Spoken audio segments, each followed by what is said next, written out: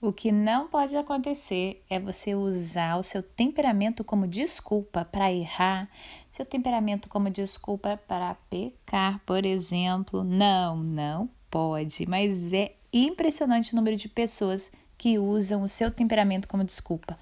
E eu, Ellen, confesso que já fiz e de vez em quando ainda faço, algumas vezes. É verdade. Tem gente que até me corrige, tem que ter um cuidado para isso. É por isso que nós estamos estudando esse livro fantástico que chama Temperamentos Transformados de Tim LaHaye. Estamos na série Sublinhados Comentados. E olha só, hoje nós vamos entender o seguinte: o que de fato eu e você não podemos fazer e o que, como não podemos usar o nosso temperamento. Vou dar um exemplo. Um exemplo está aqui no livro. Um homem sanguíneo depois de manter um caso amoroso extraconjugal, ele disse: Olha, eu sei que eu não deveria ter feito isso, mas eu tenho temperamento sanguíneo, eu sou fraco quando exposto a tentações sexuais. Gente, e isso é uma maneira covarde de dizer que a, que a culpa é de Deus, porque Deus fez ele assim. Não é absurdo? Ou seja, gente, nosso temperamento não pode ser desculpa para desvio de caráter porque seguir a palavra de Deus, ter temor do Senhor, princípio, seguir princípios tem a ver com caráter e não com temperamento. Então, ainda que a gente tenha fraquezas no nosso temperamento, o fato é que nós temos o Espírito Santo de Deus, com sua, o seu fruto do Espírito, com a paz, a humildade, a longanimidade, a bondade, a mansidão, a temperança, são características que nós encontramos no fruto do Espírito. Então, quando nós nos inclinamos para buscar o Espírito de Deus, aí nós não temos desculpa. Lembrando que a Bíblia também diz que o poder de Deus se aperfeiçoa na nossa fraqueza. Então, se temos alguma fraqueza, se colocarmos diante de Deus, nós temos o auxílio, a liderança do Espírito Santo para nos ajudar. Não, não podemos jamais colocar a culpa no nosso temperamento por qualquer problema, por qualquer coisa. Sim, você vai entender, entender melhor por que que às vezes você é tão estabanado, distraído, faz um monte de compromisso e esquece. Mas sabendo disso, você vai buscar estratégias para lidar melhor consigo mesmo. Porque você trouxe a consciência que isso é sua natureza, não é nenhuma escolha. Então, se você sabe que é natureza e deixa acontecer e dá isso como desculpa, quer saber, eu sou assim mesmo? Aí você acaba na verdade, fazendo como esse homem aqui, sendo imprudente. Agora, se você olha para isso e fala, realmente eu vou ajudar, eu vou achar pessoas que me lembrem das coisas que eu esqueço. Se eu, eu por exemplo, eu uso agenda e eu esqueço da agenda, mas aí eu coloco um bip no celular, pronto. Tem várias coisas, várias outras estratégias que você pode usar para não dar a culpa no temperamento.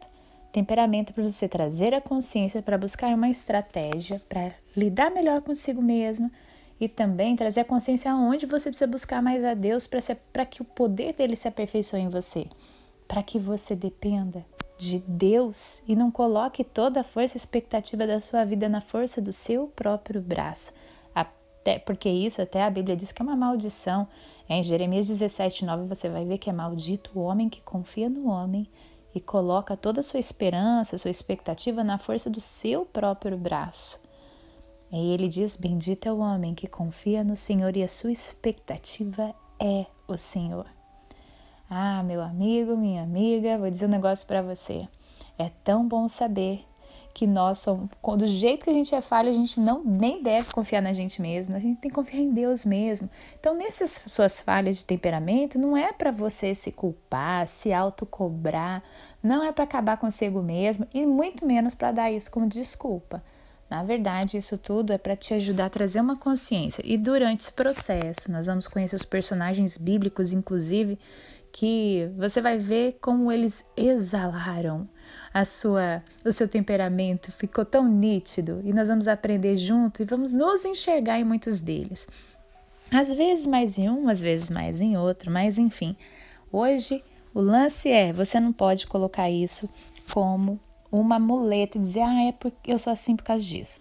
Vou dar outro exemplo aqui do livro que você vai trazer clareza. Olha, dizer assim: depois que disseram a um colérico que os seus acessos de raiva destruíram sua enorme capacidade como professor de uma classe bíblica, Ele disse assim: Ah, eu sou mesmo estourado, eu sempre fui. Quando as pessoas me contrariam, eu falo que me vem à cabeça.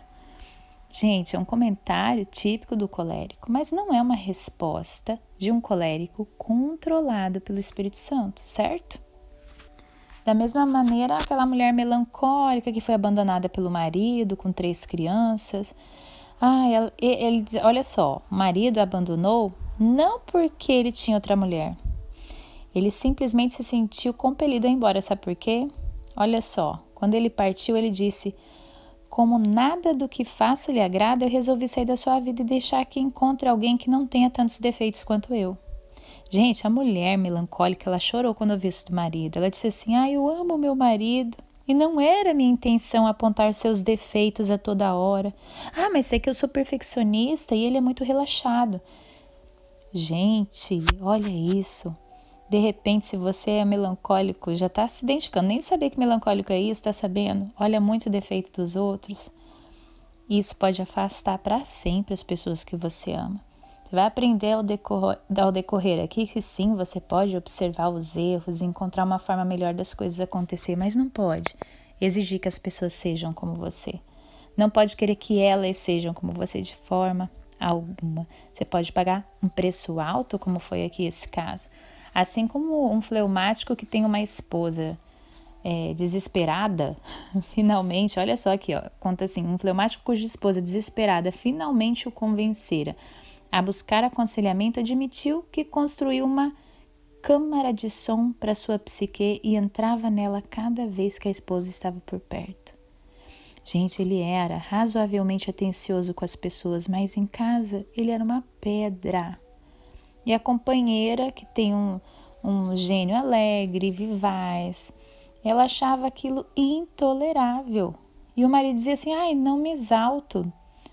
Eu não gosto de briguinhas, de confusões. Se você não entendeu, na verdade, o que ele estava fazendo é se protegendo atrás de um muro de silêncio que ele mesmo construiu. Sabe, ele não queria conversa. Tem alguns temperamentos que não quer conversa, mas para a pessoa, por exemplo, no caso aqui, para essa mulher era importante. Ela gosta de relacionamento, então ela estava enlouquecendo.